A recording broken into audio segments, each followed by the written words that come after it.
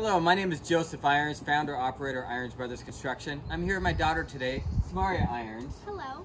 and we're gonna show you how to take a birdhouse kit like this and turn it into a birdhouse like this. Like this. Like that, like all of these. So, before we start a project, what do we need, Samaria? What's the first, what's important? We need our safety equipment. Oh, First on the number one list, we have our safety glasses, so nothing gets in our eyes. Then a little ah, first aid kit? first aid kit. Yes, why do we have a first aid kit? So if there's any injuries, we can patch them up. Patch him up as fast as we can. And And to stay hydrated, we have a water bottle for a sunny day like this. Oh yes, it's rather refreshing on a day like this. That's what the water's for, right? Oh, you're supposed to drink it. Well, it works both. As I'm dripping with excitement now, we're gonna the birdhouse. So you don't have to worry about cutting these up if you are one of the lucky winners today. But this is a plank of wood. This plank of wood turns into, after several cuts, the birdhouse kit. It's a one by six by five foot piece that you can get one birdhouse out of. So one piece of lumber, you get a nice house and you can increase the bird population. So we're set there. What else do we need? We need some tools, right? Yeah. So first we have a hammer, we have a screw gun or drill, another one, and then a big one for the hole in the front. The hole in the front we pre-drilled for these kits because not everybody has that hole saw. But if you're at home and you're just watching this, you want to make your own, you're gonna have to find a drill bit. And there's some tips on the right size to attract the right size of birds. So step one, we have to find the pieces and we need to secure the front to the sides. And it's important when you put these in, I like to have a little bit of a lip here and you bring it up a little bit for venting. I'll show that in the next step. So, wow, Samaria, you're already done. Look at this. She already got it together. Um, typically, we pre-drill a hole. Thanks for the drill. We pre-drill right through here, right? I'll, I'll do one on the other side here, but on the back side, we would go like this, line it up, pre-drill this hole, and there's gonna be four of them. Then we get a nail, pop it in there, and then I'm gonna pop this down, and you would nail it in. That's step one here. We're already on step two. We got the back. So the back's here. We secure the back to the sides because originally we put the front to the sides, kept that little gap for venting, and then we put the back on. So now we have the front, the sides, the back all secure. What do we need? Well, we need the base. We need the foundation. We need the bottom. Does that look like the bottom? Yes, it does. And you're already ahead of me. You already got it on. You nailed it in. Sometimes the nail bends sideways. That's okay. The birds don't mind. If it's a big deal, you can always pull it out, put it back in. We do that too. But pre-drilling the wood will help eliminate a lot of that.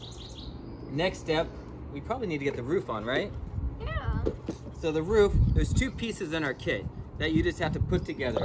There's ones you on a saw, you have to cut a little lower so it's even. And then you go like this, pre-drill, and you put the nails right through just like that. So let's make sure these are nice and tight. Boom, roof is ready. Now we put the roof on. The trick on the roof, we have to pre-drill this. So we pre-drill with a countersink bit like that. Perfect. Samaria just did that well. So now we switch this tip out. Oh, we had another tip on the table here. And we're nice and organized, so we found it. We're gonna put this on, and then we'll put the screw here. Let's see. Line these guys up. Uh, looks good. You wanna just screw that in. Oh, let's put the drill in the right direction. That always helps. There you go. Nice. And then we'll do the other one. Let me grab this one, Henny. And we'll just go. And the reason we screw the roof in is so you can take it off next year so you can clean it out and the birds can use it again. The birds will come back annually, but they do like a clean house and they don't do the best at cleaning their own house, so we have to pull it out and clean it for them. Earlier I spoke about having venting. That's that venting I was talking about. This venting is great for the air circulation to come in and out the house, as well as at the top here. So any air can circulate in there and any water in there can drain out too in case there's a leaky roof on this. Although this is pretty quality built, it shouldn't be leaking, but sometimes they bring a little mess in and we got to get it out. Other things we want to talk about is, well, maybe you already wrote your name on this, didn't you? When you build a birdhouse, it's good to have a Sharpie to write your name on the bottom so you, the birds know who to thank for building their house. Wait. Oh, we forgot a step, didn't we? Yeah. What is this for? That's a perch so they can sit out on top and look at their friends and say hi. Yeah, so you can just put a little screw on the front and the birds can sit there and say hello. Um, other things that we can provide is we've got some great helpful tips on how to attract birds um, and some links on here. We're happy to share that with you. It's some great resources. Most of it's actually from the Washington uh, Department of Fish and Wildlife. Um, they talk about nest boxes, the hole sizes, how to attract birds, but we put some of the simple tips here and a link to their site. Other things uh, I wanted to make sure we covered was just, it's awesome when our friends that have built these birdhouses and clients and people from the Shoreline Arts Festival send us the pictures of the birds using their homes. We get several every year and we love it. We love seeing how the birdhouse population has increased in the city of Shoreline, basically because we give out hundreds and hundreds of birdhouses at the Arts Festival. Please contact us at ironsbc.com to give you the tips on how to build a house and how to attract birds.